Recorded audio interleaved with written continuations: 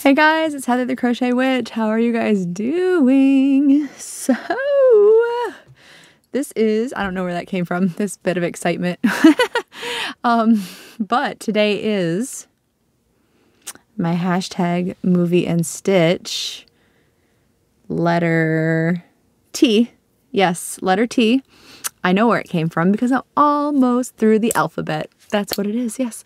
If you are just joining the hashtag movie and stitch, where have you been for the last year and a half? this was a last year project that I'm endeavoring to finish up this year. Uh, it was started by Terri from the Yarn Joy podcast. Uh, as I try to mention each time, hopefully I have successfully done that. I'm sure everybody already knows because uh, Terri and her gang that has started this, I believe, have all finished. Um, but it basically, uh, everybody who's participating um, and who has restarted, because people have restarted also. Um, I'm just like somewhere in the middle where I had started with the original gang and then lost my way and restarted, um, like picked back up, not restarted from the beginning.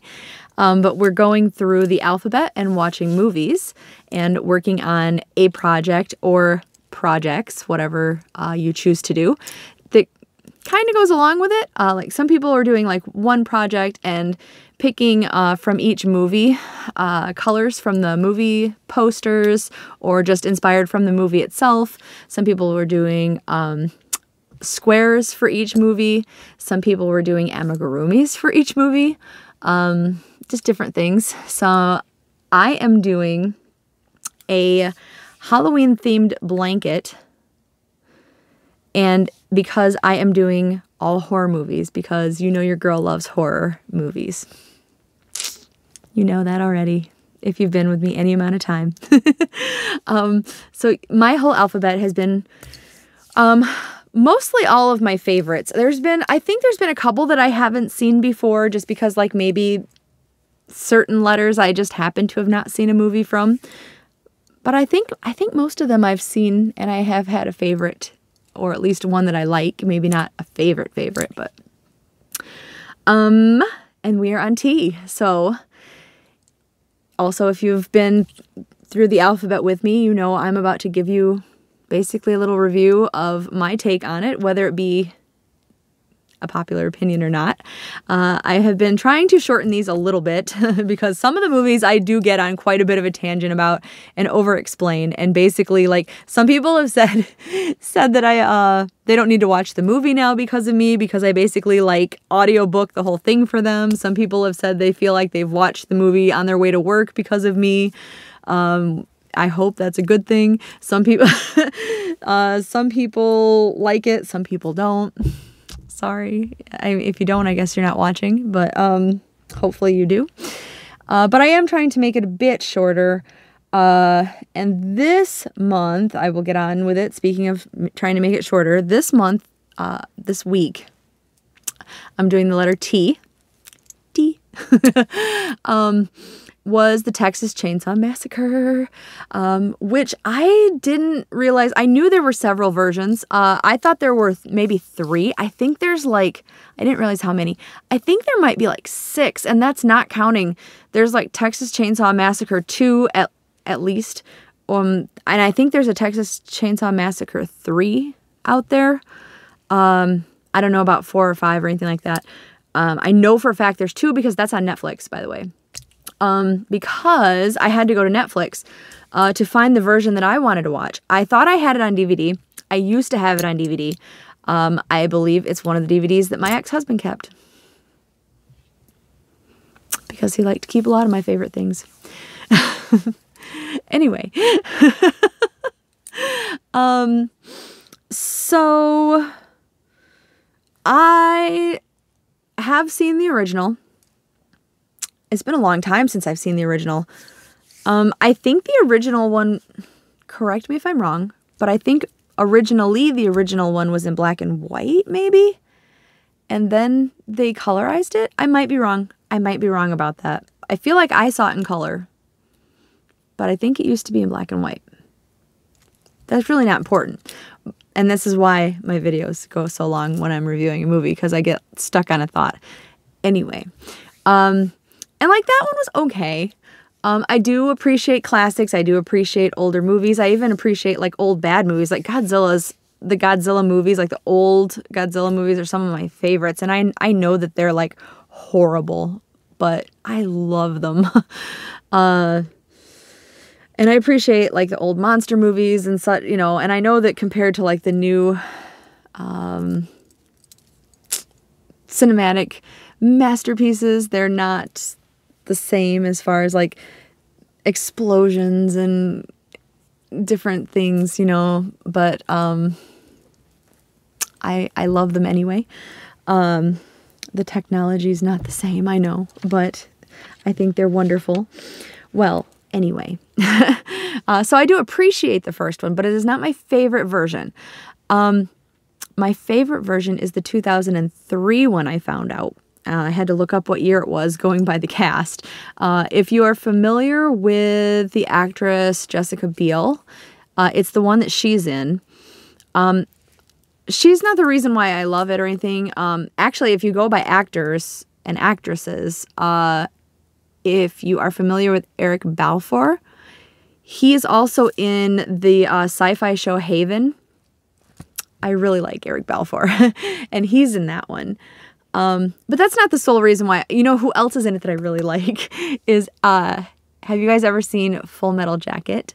The drill sergeant, the guy that's super he's in it as the sheriff of the town, who's also part of the uh, Leatherface's family, and uh, he's he's so so good at his part, where he's obviously a lunatic, but he's very authoritative, and like at one point he's like ordering these girls down on the ground, like facing the ground, while he's like, um, you think he's gonna kill the guy that they're with, and he's just his amount of crazy balanced with authority. Oh, he's creepy. Oh, cast perfectly in my opinion. Just saying.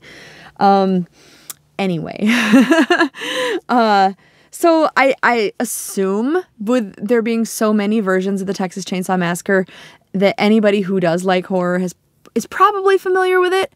Uh, so I won't go into like crazy amounts of detail, but what I will say is uh, they changed the names, but the basic concept of this one they kept fairly similar to the first one, I believe, from what I remember of it. Like it was still it was set in the 70s. I'm pretty sure the first one was also set in the 70s. Uh, it was a group of like older teenagers or younger mid 20s kind of, you know, old teenagers, mid 20s type of kids. Um, and there was five of them. There was five of them in this movie. Uh, I think in the original one there might have been two girls and three guys. That's what there was in this movie. Um, and they were just supposed to be traveling through. Uh, in this movie, they were going to, uh, they were coming from Mexico, and before they went home, they were going to a Leonard Skinner concert how cool would that be to see Leonard Skinner like in the prime of their concerting days in the 70s? Anyway, I'm not even to get off on a music tangent. Not even. But it would have been cool.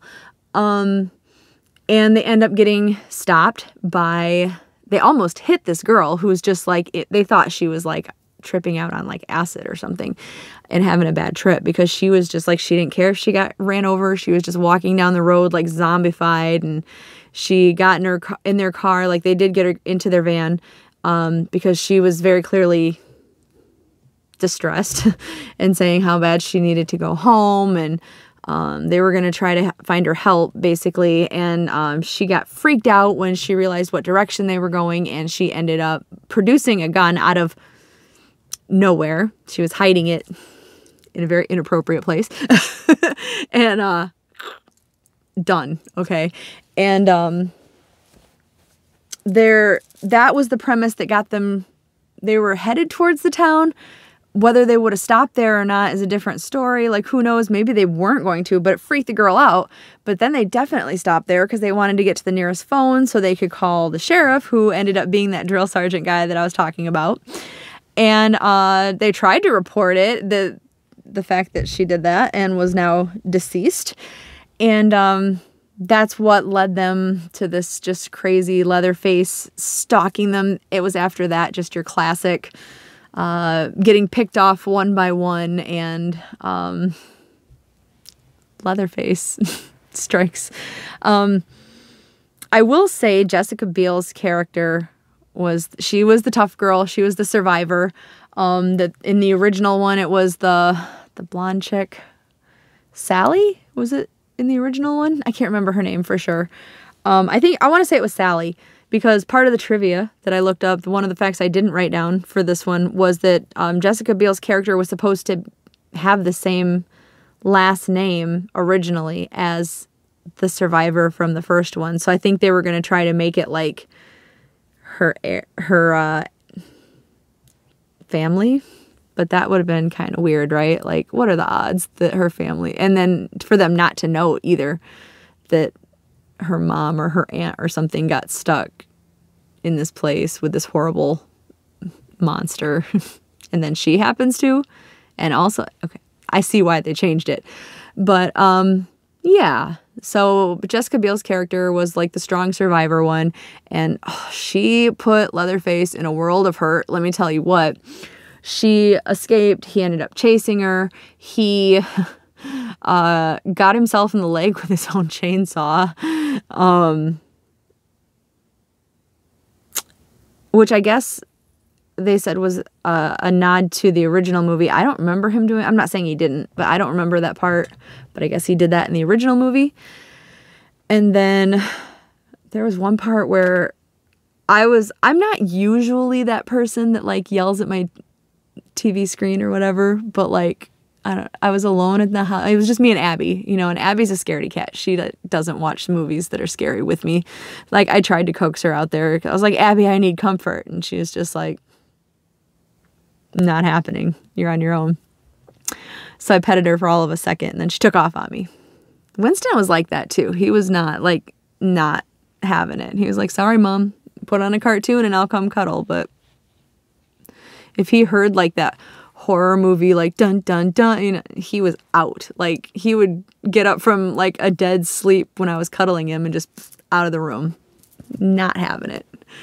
He's my brave protector. Anyway um where was i?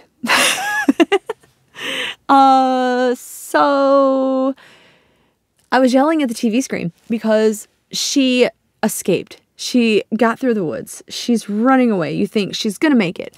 And she gets, she hears like these cows, right? And she sees this meat processing plant in the same town. Why would you stop? Why would you stop there and decide to run into the, this meat processing plant? Surely that's where he's comfortable with all of the meat hooks and the cleavers and the why would you do it? So I'm sitting there like yelling at my screen, like, don't go in there, you idiot. Why would you do, you know, uh, I'm pretty sure I scared Abby at one point. She definitely wasn't coming for cuddles then. And, uh, but when he did chase her in there and she was like skittering away from him, getting under all these places it was hard for him to get into and stuff, um, she found a cleaver and, uh, she, she took one of his arms, man. She was not having it. Like she fought back hard. He was, I'm sure, regretting picking off that or trying to pick off that one because I'm just saying. So, and that's, I don't know. That's why I like this version because, like, some of the guys went down fast. Like, um, I said I liked Eric Balfour a lot. Uh, as an actor, and he was. I uh, was texting my sister, and I was like, "Why does Eric Balfour have to die first? because uh, they at that point didn't know what was going on and he got like picked off like so quick. Like he had no chance at all. He was just gone. And then um, when they they thought something was up that he was like being held in this house but they still didn't know something like as sinister as Leatherface was going on. Jessica Biel and one of their f- friends went back to rest. They were just going to rescue him. I'm sure they probably figured just like, you know, the scary people at the house had him kidnapped or something, but not to the degree that was going on. Um, the friend like pretty much bit it right away too. It was just like two deaths were just qu- so quick, so quick out of the five. but yeah, other than that, it was your basic, you know, slasher. Uh, I will give away the ending and spoil it too because I always do. Um, and say that uh, Jessica Biel did get away. Oh, that was the. I told you she was a really tough chick, right? During part of it, and I don't remember this being part of the original movie either, although it might have been. I just don't remember the original very well. Um, there was when she was trying to get away and she was having her like I mean everybody's I I would have been panicking through this whole thing, but uh, everybody's going to have, even the bravest characters are going to have their moment of panic, right? She had her moment of panic when she came upon this trailer, and these two, I don't know if they were sisters or what, but these two older ladies, it was an older lady and a middle aged lady or whatever, these two women were in this trailer and let her in and they were being really calm and like she's she's crying she's freaking out she's you know terrified she's he's gonna get me and and they're just like oh, you're okay. Sit down, have some tea. It's okay, you know. And I mean, she's flipping out, and um, they're just, it's okay, you know. And um, she uh, notices at one point. Eh, spoiler there too. They drugged her with the tea because they were basically slowing her down so that he could get her back into the house. Leatherface could. But um, she notices while she's drugged and about to pass out that they have a baby in the place, in the trailer. And I don't know how, like, okay, yes, it was true, but like how you just straight jump to that conclusion. she's just like about to pass out, and suddenly she's crying and screaming, That's not your baby! You stole that baby! It was kind of funny because I like how fast she jumped straight to it. But anyway, um, so when I said she's like awesome and everything, uh, right at the end, she did escape. She got this truck driver to stop, and then it kind of like went through the same motions where she was kind of in the place of the girl they found in the beginning where she was like wandering and this guy did pick her up and she's like you're going the wrong way. Don't go back to this town. Don't stop. And she's freaking out. Well she didn't she didn't off herself like the girl did while this guy went to the house that was the family home of Leatherface and he didn't know it. Um he was trying to tell him like I have this girl, I need help. She's, you know, being crazy. Um she snuck out of the truck. She used them the guy as a distraction and stole the baby. Got into the cop car of the corrupted cop and ran the cop over when he was looking for her cuz he was like, "How I'm going to get her now," you know. And she took off to safety and saved the baby. so she's just all around awesome. So, anyway, I like strong female characters. So, she was awesome. So, I really do I really do like this like this version. Uh yeah. Like I really like if you're familiar with um Rob Zombie's movies, I really love House of a Thousand Corpses, but like I don't want to spoil it. Never mind. But let's just say the the female escapee was not the strong female role that Jessica Biel was. That's all I'm saying. Anyway, so that was the recap. Hopefully, it was a little bit shorter than usual. I tried really hard. um, you know me and my tangents, though. I do have a little bit of trivia that I wrote down because I, I I think trivia is interesting. I'm that person though, so Hopefully you do too. Um, after learning about plans for the remake to even happen, uh, I'm going to butcher his name, Andrew Bryniarski, Bryniarski, Bryniarski, the uh, guy who plays Leatherface. He went up to the producer at a Christmas party to personally ask him if he could play the role of Leatherface, and he got it. So that worked out for him. It's good play, Andrew.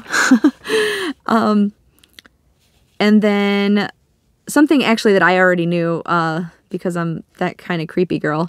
Uh, Leatherface was inspired by, like, the movies all say inspired by a true story. Leatherface himself is not the true story, but uh, he was inspired by a serial killer named Ed Gein, or Gein, uh, if you're familiar with him. Like, there's just no way to do a good, like, crochet and murder show.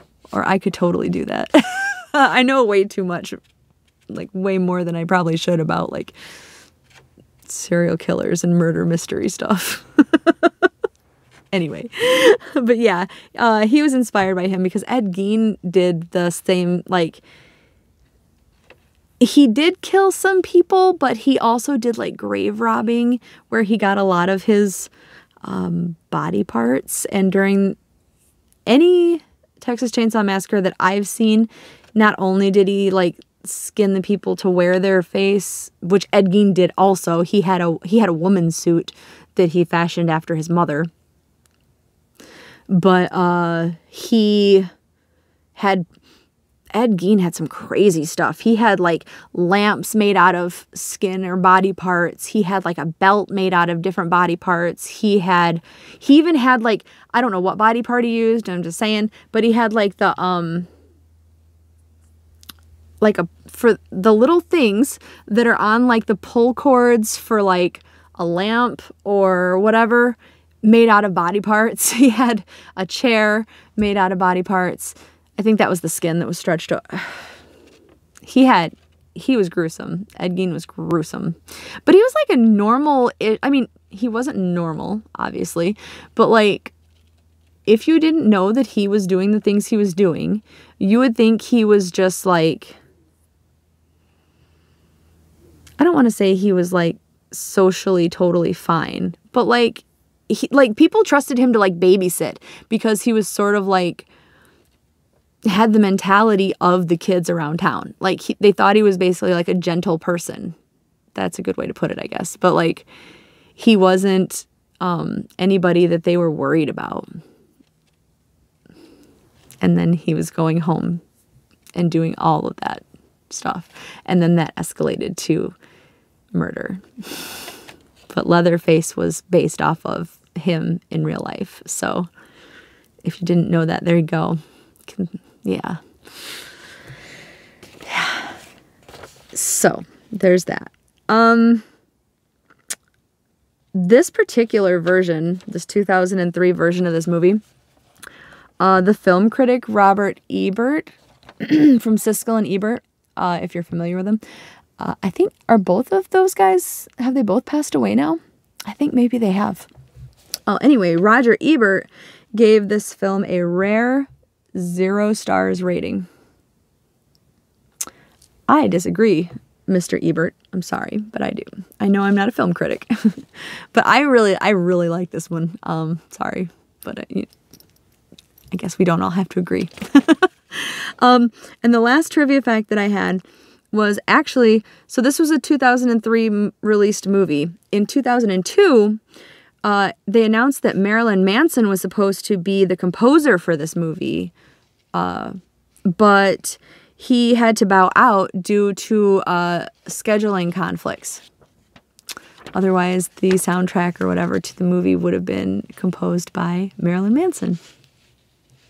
So cool. Like, I think that's cool, but I also, I don't know. Like, if movies or shows are set back in time, I like it when they have period music to it. So like I'm cool that like Leonard Skynyrd was in it. But it would have been weird to me to have like too much like modern even though I like Marilyn Manson a lot, it would have been weird to me to have too much of that. Like um American Horror Story did that. Uh in Freak Show. I think it was. They ha- I mean they've done it in other ones too, but Freak Show is the one that really like graded me because uh it was set in like I don't know, the 40s or 50s or something. It was when they still had like traveling freak shows.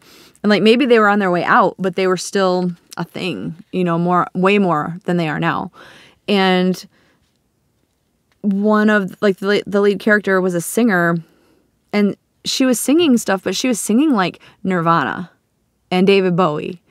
And I'm like, like I love Nirvana and I love David Bowie, but in the 40s and 50s, it's just like a pet peeve thing. I don't know. I'm weird like that, but anyway.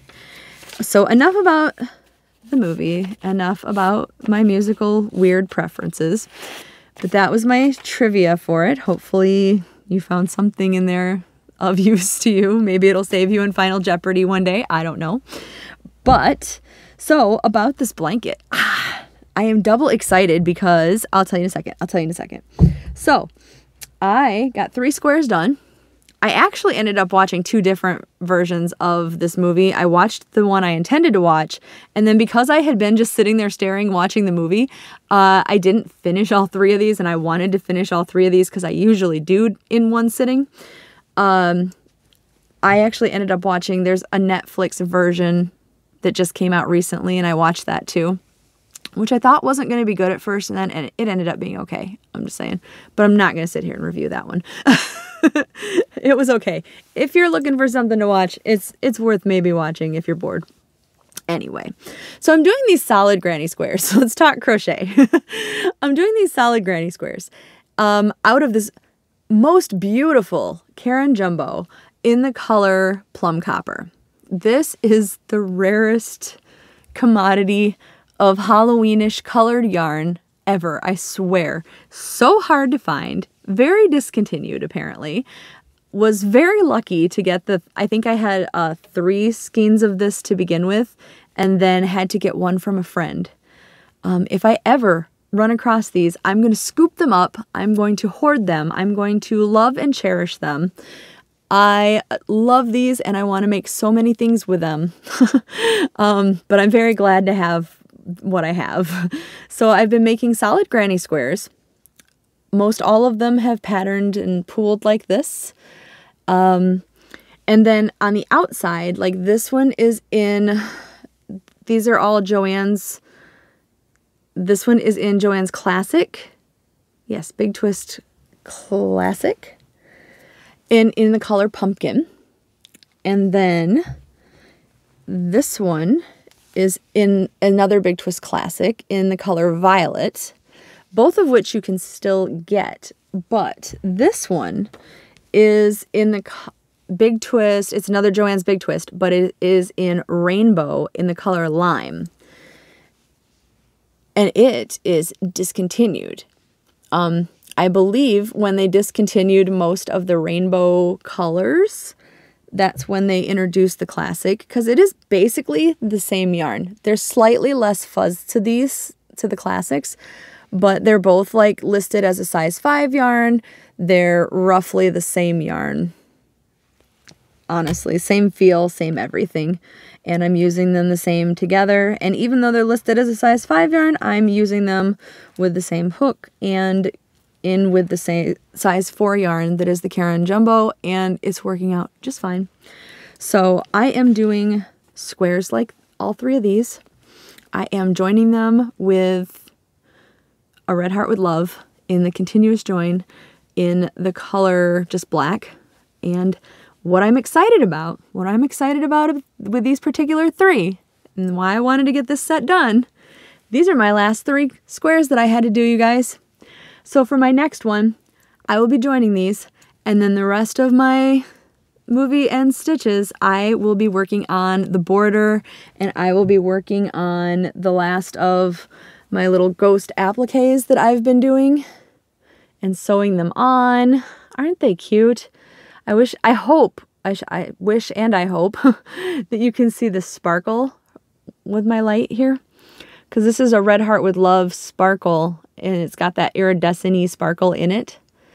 But I've made ghosts in varying sizes. I still have to put the eyes on the big ones, but So I have some ghosties and I have to put the RIP on it, but I made, I just freehanded um, a tombstone. And I'll probably make another one of those. And those are just going to be my little appliques on the blanket. I don't want to like overload it with appliques that I don't want to take away from the actual blanket really. So those are going on it. And I'm going to do a border with, because I have quite a bit of each one of these left over.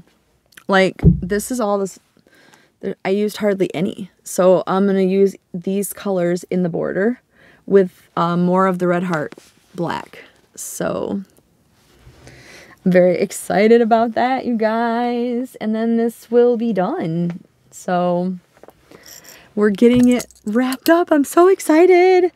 And I'm excited to have this done. I have been like dreaming about this Halloween blanket for so long to get it done. And that's why I wanted to do it with the movie and Stitch, thinking that I would um, stick with it from the beginning. And then like when I kind of like let it drop in the middle, I was so disappointed in myself. um, but that's why I was like, I need to pick it back up. I was like, I can't, I can't, I don't even want it to end up being like a WIP weekend project. Like I want to continue this and finish the, the movies and this, you know, everything, the movies and the Stitch. And yeah, I mean, I did basically want to do that. So I'm just excited that it's, it's almost done. So very proud. it will be a proud moment. Uh, I think I just need to get to the U, the letter U reveal. I almost made a W. The U. And I'm excited for my W. I already know what my W is going to be too. Anyway, ahead of myself. Um I know it's it's horror. It's close enough. It's it's um not scary, but I'm like pretty desensitized, I think. So it's still a horror category, I think. So my U is ready. Underworld. I really, really, really like Underworld. Um, I think I'm gonna save that for the review and shut up. Just it's gone on long enough. All right, I am gonna go. I love you guys, and I will talk to you later. Mwah. Bye, guys.